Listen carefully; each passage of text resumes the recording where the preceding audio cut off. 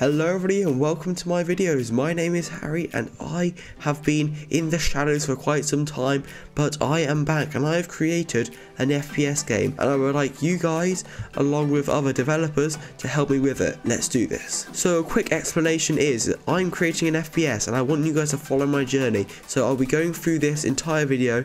I'll be building maps, making movement mechanics, making you know everything you need. I also want you guys to get involved so we'll be doing votes and you guys can create some content for this if you want to. So yeah, let's go ahead and get right into it and let me show you how this system works. As you can see, we have an FPS system. Now, this is looking really quite nice. So we have an AR here, which is the M16A1. As you see, we have things like wallbang mechanics here, where we have this. We don't have anything like aim down sights or anything because, I don't know, we wanted it to be more like CSGO and Valorant. So we also have another weapon, which is the pistol. Here you see we can change weapons. This works on mobile and Xbox. I mean, the animations are a bit clunky, I can say, because because, well, they're made by me and I'm obviously not an animator. And then finally, we have our SMG here, which looks like you have aim down sights, but sadly, we don't have that yet. But yeah, right now, it's looking pretty standard. So yeah, let's start off by making some maps. Okay, so to start with guys, I'm going to be making a map. So in the middle here, I want this to be, yeah, I want this to be the size of our map. Now my idea is, is to make, in an FPS map, you want to give people an endless ride. We don't want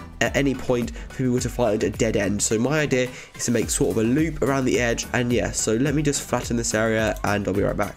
Okay then, I can say this as well guys, start from the outside and work your way in. Let me just get rid of this and yeah, let's get started, let's do this. The best way to make an FPS map right now is to make something called a map layout, which means pretty much you make it all out of uh, the default parts and then with that default part you then can texture and stylize it and stuff like that. We're also going to plunk a a little rig in here just so we can see to scale what it's going to feel like. Okay, it's looking good.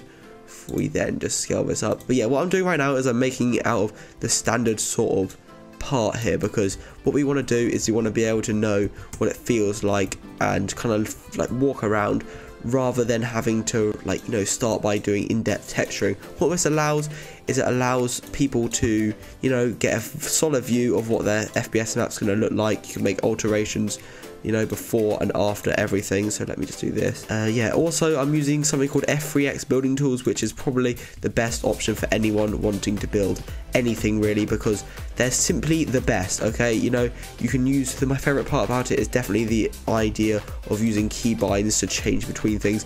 I find that extremely useful uh, I don't know, I just find it really nice, really easy to use, rather than having to constantly, you know, like click between the little awkward things up here.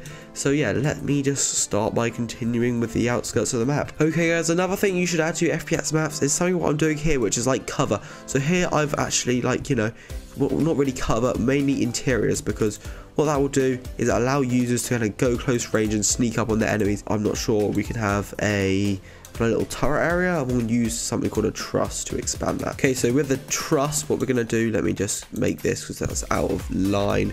Let me just hit this on the z-axis and then just bring it across like that. We can go into model and we can add something called a truss. A truss is pretty much what is used to, no we can't go model, sorry, we go to workspace add and we add something called a truss part. Because a truss, what it is, is it's simply an object which is used to climb up anything. So I want to make it so you can climb up this in this little corner here so it's not you know right up in the open because we do not want that either. So yeah let me just expand this using the x x x button. Sorry I keep on calling the axis. I'm sorry I'm so used to that. Alright bring that like this. Now obviously we can invisibilize make this change its looks but right now I, I kind of think it'll suit the standard little part area. Okay, as I don't want to keep you waiting, I'm going to do and show you how to texture these buildings before we then go in and actually add some things such as movement. So what we're going to do to texture these buildings from here, I'm going to do this one here because this looks, no, I want to do this one here, it looks interesting. So what I want to do here is I want to go like this and change the material. I'm going to make it concrete and uh, I'll make this one concrete as well because, you know, we want it to keep that sort of theme. Um, what we also want to do is, as you can see, it looks really plain. It doesn't look like it's honestly got anything, this truss here. I actually do like the kind of truss effect. I think it does look really sort of, I don't know, it looks like a fun battleground to fight on. So I'm not going to change that. What I am going to do though is I am going to add something to this sort of bland wall because we don't want a repeating texture all the time. So what I'm going to go into, into the toolbox, go to these models, change this to images and then you can actually go ahead and add search for a texture well not especially a texture I'm going to search up the word uh, grime because what that would do is we can get some cool effect. Alright so this is the kind of thing I'm looking for. If we then uh, just click on this uh, it will add it in as a image. We can click on this part here and we'll copy it and then paste it into this part now this will looks like it popped up on this face at the back. So you may think it looks a bit weird. Well it doesn't actually. If we put this to the back face at the front what we can then do is we can go ahead and change the transparency and increase it quite a bit. And as you can see that looks a lot better. That really looks like it's a genuinely damaged and war-torn wall. Like that okay? See how much more realistic and advanced these walls look? Actually what i'm going to do for this side face here is i'm actually going to delete this and i'm going to add this effecting because i think it looks cool. I get this and put it into the part and i make it the left face okay yeah that's going to look cool. If I just decrease the increase sorry the transparency quite a bit look at that that looks really really nice. Okay now let's go ahead and add some uh, sort of decorations for the top here. So the best thing to do is to kind of add some parts like this and what we're going to do put it in the corner and we add some kind of, I don't know, chimney pipe, something where players can take cover for. So something like this. Okay, I think probably diamond plates, probably the best option. So yeah, like up here, we can have sort of one of these and then we can duplicate this and decrease its size, drag it across just like that. Uh, yeah, like that. We just want sort of something like that to add a little bit more looks into this. We can also then change this truss into something I think sand, yeah, that, that looks cool for the truss. Maybe make it a bright colour so people can actually see that it's there, because I want that to be a key point factor. Okay, yeah, that's looking really cool. And then up here, we're going to add an area so the player will be able to wall bang through. So if we line this up, uh, I'm actually going to duplicate this one more time, bring it to the corner and then double its size a little bit, then bring that down just to add as I say, it's all about the sort of small little things that really make such a big difference to this. Okay, like that, and then just bring that down to there. Very cool. But yeah, this this here should be their thickness. Uh, size, I think that's one thick, so we need to make it 0.5. And then here again, 0.5, because that's the penetration distance of the bullets right now. And then here we'll make this uh, sand, I think. No definitely not. We'll make that concrete like the other. And there we go. That is how we texture a building. Now this is a, obviously a very basic idea. Let me just duplicate this and bring it across just like that. And then do the same for this side and bring it across just like that. Alright, that looks really cool.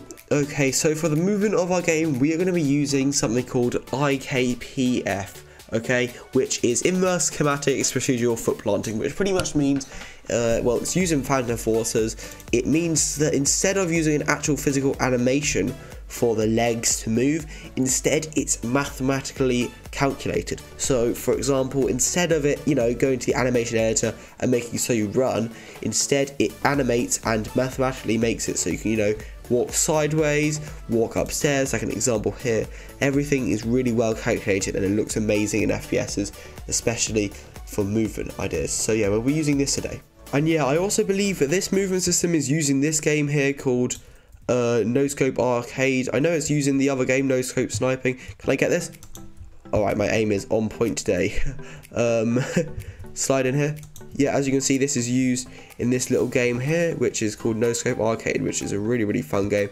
I think it's sort of No Scope Sniping too, if you ever played the original game. It's pretty fun. Can I hit this guy? Oh god, guess not. Uh, Oh, can I melee? Can I melee? Can I melee? Can I melee? Alright, let's go. I won the game. But yeah, he's using this game mode, which, you know, looks really cool. Anyway, what we're going to do is we're actually going to uh, go to the library here and press get. And when we got this, we can now go back into our toolbox and grab it. Alright, I've got the script now. I believe this goes, yeah, starter player scripts. Get this and we'll put it into our starter player scripts here. And yeah, let's check it out. Okay, everybody, as you can see, it does look a bit weird. I mean, yeah, it looks a bit funny, but when we're in game, of course, it's going to look brilliant when everyone's running around. So yeah, look, a quick diagram, by the way, guys, of how much damage these things do.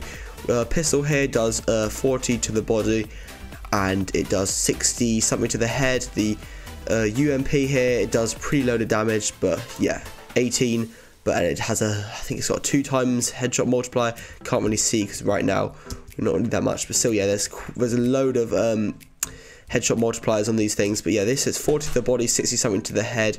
M16A4 obviously does more damage as an assault rifle. But yeah, all these weapons are pretty well balanced. We've tested them in PvP and they work really well. So yeah, there's movement sorted. Let's try something else. Okay, so if you are wondering how we do the hurt GUI here, as you can see, it's a billboard GUI with a little text file in here. This has all our, you know, information of what the text looks like. I'm actually interested in making the actual text transparent look here so as you see this is what it looks like um, the font I'm gonna I'm actually trying to attempt to change the color to a kind of uh, lighter red I guess you could call it a lighter red sort of nah I'm joking I'm nah, I'm wrong I'm wrong I'm wrong let's just make it the nice bright red it was before there we go. See that's what the text uh, looks like so yeah we can kind of edit that but yeah I'll I'll actually put this in my Discord server in the resources panel if you guys want to use it. Okay, so here is the spawn function. So what this does is it makes sure that the text's transparency equals to i, which is either 1 or 0, depending on uh, the spawn. And then here, this is just defining some uh, variables.